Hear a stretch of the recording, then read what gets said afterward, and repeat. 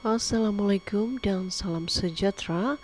Terima kasih klik mawar putih. Jangan lupa di like, di komen, dan di subscribe.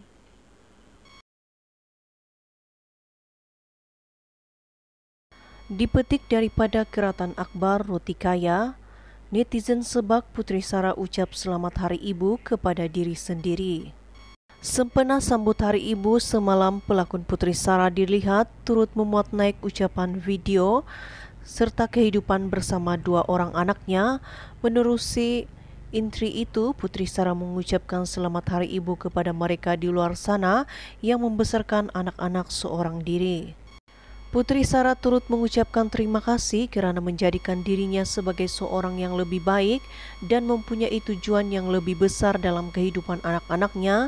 Selamat Hari Ibu kepada ibu yang telah membesarkan anak-anak Anda seorang diri seperti seorang hero.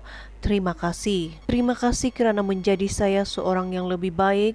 Terima kasih kerana memberi saya tujuan yang lebih besar dan lebih baik dalam kehidupan. Di ruang komen rata-rata netizen, sebab apabila Putri Sarah mengucapkan ucapan untuk diri sendiri, malah ada yang mengatakan Putri Sarah merupakan salah seorang contoh wanita yang kuat berjuang demi kebahagiaan diri dan anak-anak.